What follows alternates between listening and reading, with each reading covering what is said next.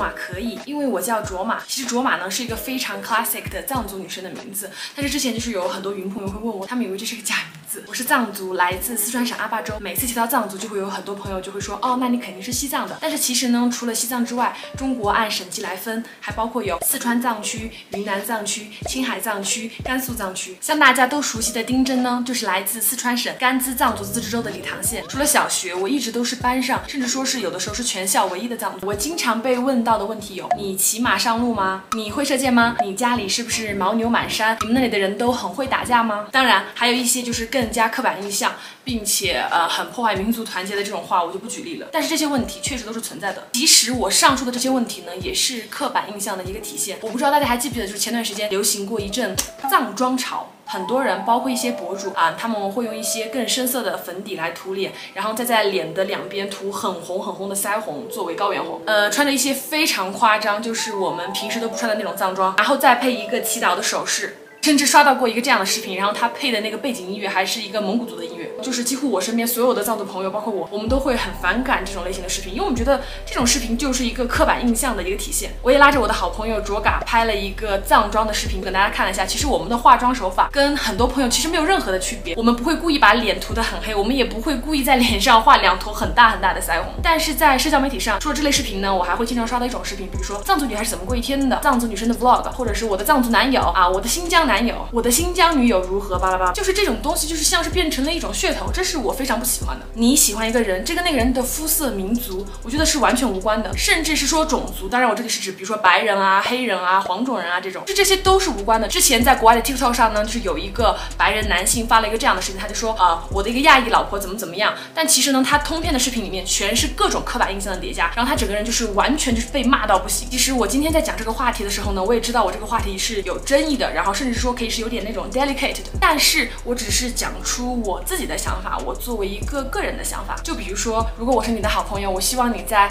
把我介绍给别人的时候，你不是说哦，这是我的藏族朋友卓玛，我希望你就会说啊，这是我的朋友，这是我的好朋友卓玛。就像我也不会跟大家介绍说啊，这是我的汉族好朋友小五，这是我的汉族好朋友思密达一样。以及大家知道，就是如果你在国外的时候，你说哦，this is my black friend，巴拉巴拉，这是我的黑人朋友，那么有可能你就会面临很大很大的问题。然后我不知道大家有没有发现，其实我的所有视频里面，我都没有故意。想要去放大自己的的所谓不同，嗯，我的 vlog 视频也好，我的穿搭视频也好，我的化妆视频也好，都是跟任何一个普通女孩一样，有着差不多的元素。我也非常非常喜欢花，然后我也非常喜欢跟我的朋友出去玩，我也会在视频里面流泪，就跟所有人一样。大家喜欢我，也是因为我这个人。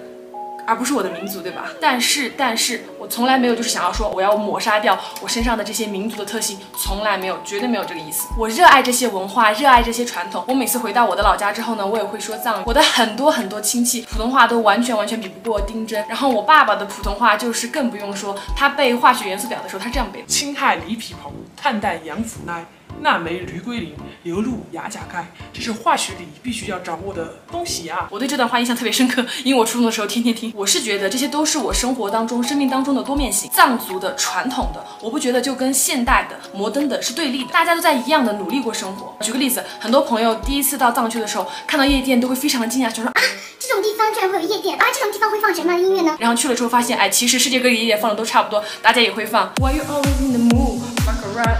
Why you always in the mood? Fuck around at your new 啊，也会放 Black Pink in your area，也会放 bang bang bang bang bang bang bang bang。包括现在拉萨也会有很多的咖啡厅，我觉得它的味道和装修其实都跟国内的其他城市一样差不多的。我们只要用尊重、平和的态度对待任何人就好。国家有五十六个民族，五十五个少数民族，但是可能由于地区分布的原因，很多朋友在一生当中可能都没有在现实生活当中碰到过几个少数民族，或者是没有拥有过几个少数民族朋友。但是这些都不是问题，我们只要相互尊重、彼此热爱就够了。而且在看这个视频的朋友，就是你也拥有了一个云朋友我卓玛，民族的一面，传统的一面。摩登的一面，我觉得这些面呢都会同时在一个人身上出现，但是没有人只会被一面甚至是刻板印象所代替。我觉得最重要的就是要做你自己，活出你自己，不要活在任何人对你的期待和想象当中。就像罗曼，其实也是一个非常尊重女性和民族的品牌。呃，看到这里大家千万不要划走，不要就说啊，这个时候突然进来一个雅诗的广告，很猝不及防。因为确实是罗曼尊重了我的主意，尊重了我的想法，就就是跟我说我可以拍我想要拍的东西，所以我真的非常非常的感激，非常真诚的就是分享出来他们产品的特色。大家把感谢给我打在公屏上，提倡个性自由，不受拘束。从他们产品的外观设计上也能看出来，用色大胆新颖，是这种荧光绿的牛油果色，市面上还是比较少见的。而且不仅仅是颜值好看，实用性能也是非常强。他们家是专业做口腔护理研发和制造的，在国产品牌中坚持了十七年做电动牙刷，真的是很专业了。东丽的刷毛密度非常的高。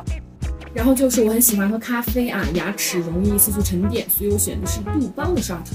用它刷牙的时候呢，你是不用担心会伤害到牙龈，我觉得非常适合一些牙龈比较敏感的朋友。而且它还匹配了智能感压系统，在你使用过程中用力过度就会有闪烁灯提示，短频震动双重提示告诉你说牙齿刷重了，这点真的很贴心，用起来我也觉得省心省力。而且这款电动牙刷续航能力也很牛，就是你充一次的话可以用一年，非常非常适合我这种经常会忘记充电的懒人。我在日常品牌的选择上面，就是除了会考虑实用性和功能性之外，也会看品宣和品牌背景，这点我觉得还是挺重要的，尤其是对博主来说。但我也不能说就是是我每次都做到了完美巴拉巴拉，因为我觉得就是人毕竟就是也是会犯错嘛，我也没有一个那种很庞大的盘队团队去帮我筛选，但是我每次就是有尽力就想要去学习，想要去调查更多，想要去了解更多，反正就是一些有辱咱们传统文化的东西啊，咱们是绝对不会碰的。以上就是本期视频的全部内容了，要非常感谢罗曼牙刷对本次视频的赞助，希望大家不要觉得它的出现有点猝不及防，因为确实是罗曼牙刷就是赞助了这个视频，尊重我的想法，就是让我去拍我想拍的主题，所以我对于这样的品牌真的非常非常的感恩，你们又可以做出很好的品牌，然后你们又能够